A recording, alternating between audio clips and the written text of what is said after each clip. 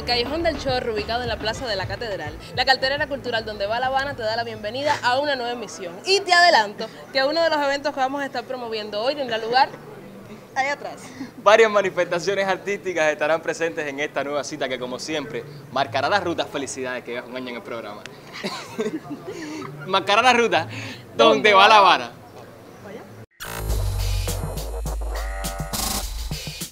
Y si te encuentras caminando por La Habana Vieja, específicamente por la Plaza de la Catedral, hay un callejón que es el del Chorro, ¿no es así? Al final está el taller experimental de la gráfica. Caballero, aquí hay una venta de garaje. Pero no, en serio, es el nombre de la exposición de Joel Valdivia, mi hermano. Tuve que leerlo porque son mucha información y a mí como que, mi hermano, bienvenido.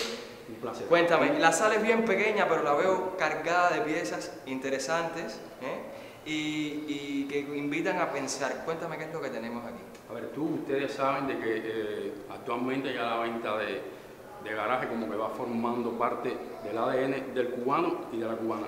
De eso va esta expo, eh, donde te puedes encontrar, no sé, técnicas distintas, inclusive con retablos, es decir, cosas que he adquirido realmente en ventas de, de garaje, como marco con una esquinita rota en el cristal, como algunas de las cositas que empleo en, el- en el- en los retablos, y sobre esto va eh, la expo. Ahorita estábamos hablando y, y- y que me gustaría que compartieras también con esas personas que nos están viendo tres o cuatro piezas que tengas preferidas.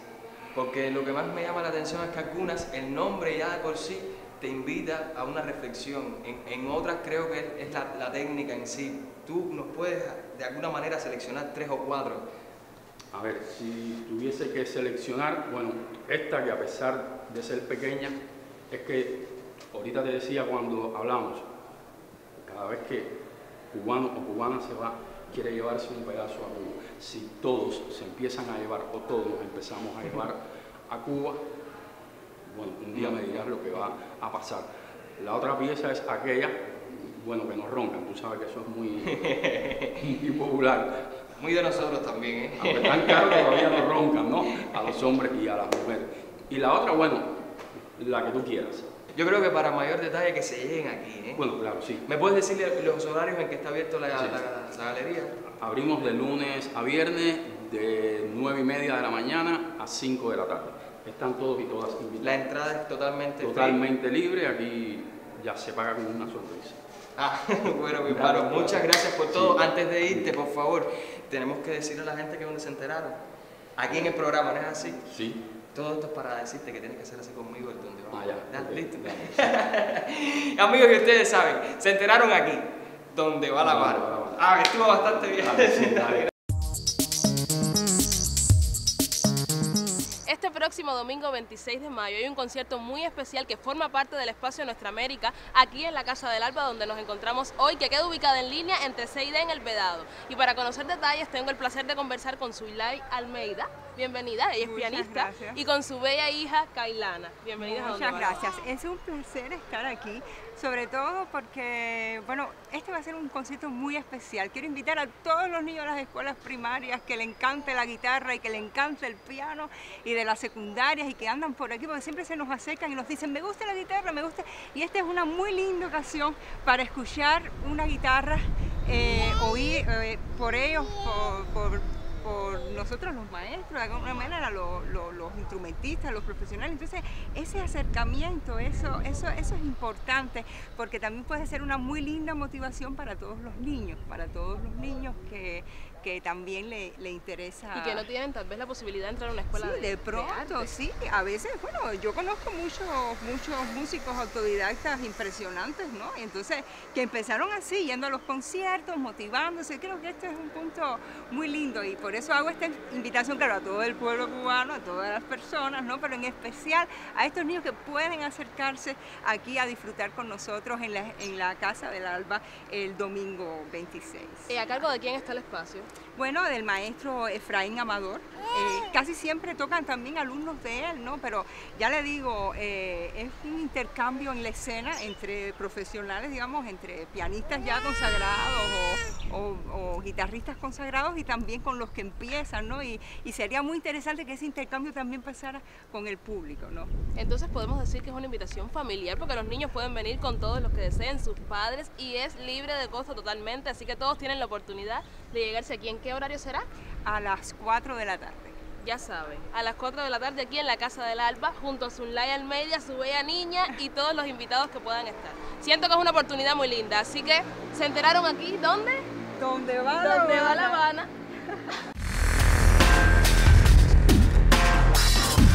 Nuestro equipo continúa en el taller experimental de gráfica de La Habana, pero estaremos conversando ahora con María Renati. ¿Cierto o no? Encantada. Encantado nosotros de tenerte Encantada. aquí. Es artista, es la que va a estar a cargo de esta parte de la exposición. Es una exposición bien personal, argentina, francesa. Y que tiene como nombre Memorabilia. Trayectos invertidos, ¿no es así? Sí. Cuéntanos, ¿qué tenemos aquí? ¿De qué va? ¿Qué, qué piezas tenemos? Bueno, la exposición compone una instalación de cinco telas con grabados que es un recorrido vegetal de la ciudad de La Plata, de mi ciudad de la Argentina. Eh, yo hace 20 años que vivo en Francia y esta cuestión de, rem- de rememorar, de memorabilia, tiene que ver con recorrer todos estos espacios vegetales, estas sensaciones y hacer de, toda esta experiencia una experiencia activa. Esta exposición eh, yo la realizo y la dedico a mi familia, tiene un sentido porque mi familia estuvo acogida aquí en Cuba durante la dictadura militar en la Argentina. Mis tres primos estuvieron en, en un hogar aquí, protegidos en La Habana, y mi abuela Micha, que es a la que dedico esta exposición y a mi familia toda, vino a buscarlos en los años 70 a mis primos. Así que yo tengo siempre un reconocimiento hacia La Habana y una gran emoción y una, una alegría de, de exponer aquí en el taller de gráfica. María, en el momento en el que le hacen la invitación para hacer esta exposición aquí, ¿qué sintió usted? Porque ya vemos que hay un trasfondo muy personal, muy familiar y como quiera que sea, en cada una de esas obras hay algo muy íntimo. Sí. ¿Qué sintió cuando le hicieron la propuesta? En realidad cuando me hicieron la propuesta es cuando yo conocí a, la directora de- del taller de gráfica experimental y a Milis Britos, eh, que estaba realizando una exposición de difusión del patrimonio gráfico de La Habana, de 60 años de artistas, en Francia en un coloquio internacional, en la ciudad donde yo vivo, en Brest, sobre las Américas, el arte y el Caribe. Entonces, es ahí donde Yamilis me hace esta proposición y yo empiezo a pensar eh, cómo, cómo yo puedo componer o, crear este, este tipo de, manifestación. Ahorita comentábamos tras cámara eh, que usas, eh, o sea, que trabajas con madera. ¿Cómo se llama esta técnica?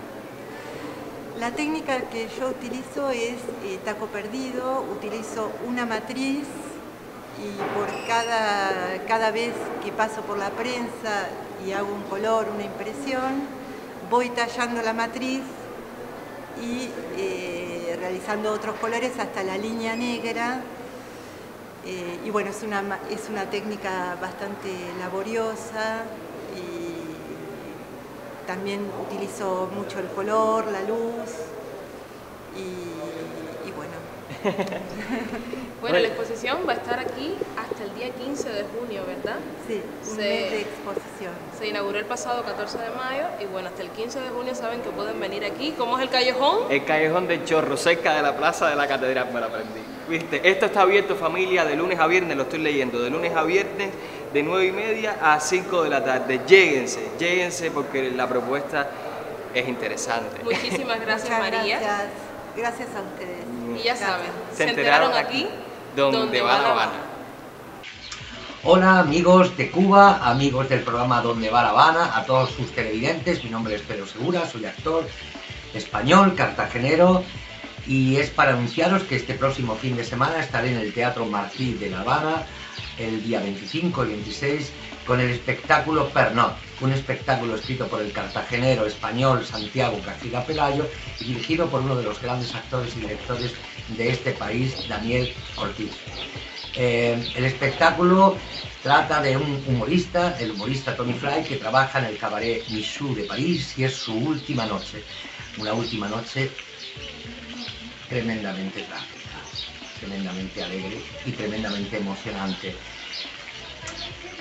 Quería decirles que ir a La Habana para mí supone una gran alegría. Es hace muchísimos años que quería ir allí a visitar La Habana, pero ir como actor y trabajar en este teatro maravilloso con, todo mi equipo de Bonjour Mon Amour es para mí una gran, gran alegría. Os espero muy pronto, os espero en unos días en el Teatro Martí con la obra Pernod, donde va La. Mágicas tus miraditas son. La fiesta de Gato y Pon es la propuesta para este sábado 25 de mayo aquí en el anfiteatro que tenemos de fondo, pues justamente está cumpliendo 88 años este centro y además se celebra dentro de poco el Día Internacional de la Infancia. Y para conocer detalles y todas las sorpresas que esta fiesta trae, conversamos con Fran Licor, director de la compañía Habana Sueños. Bienvenido. Gracias por la invitación. Gracias a ti por aceptar. Entonces, ¿qué es lo que viene este sábado 25? bueno, nada, estaremos disfrutando, como bien dijiste, de la fiesta de Gatipón, un concierto maravilloso de Arnia Garcés eh, aquí en el anfiteatro a partir de las 6 de la tarde.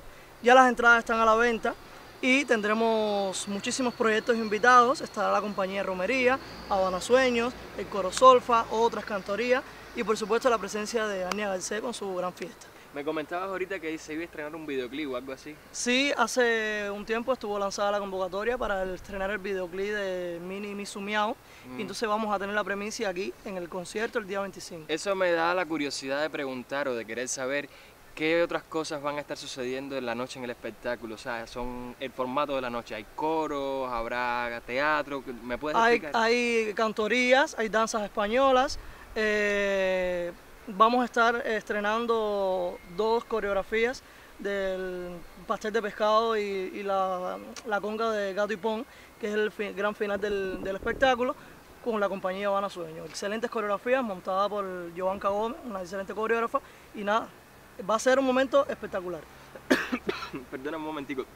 Eh, quería saber también cómo se interrelacionan o cómo fue el proceso de todas esas, porque son varios amigos, bueno, no sé si lo son, pero me imagino que por lo menos una buena energía deben tener a la hora de crear y concatenar y, cómo funcionó todo eso. Bueno, nada, hay un programa que, que yo diría que es la, la, base de, de, estos grandes logros, como, como me estás comentando, y se trata de Corazón Feliz. Corazón Feliz es un proyecto que ha unido a muchos, muchos artistas, proyectos y, de ahí, por ejemplo, de ahí eh, apareció la unión de Coro Solfa y Habana Sueño.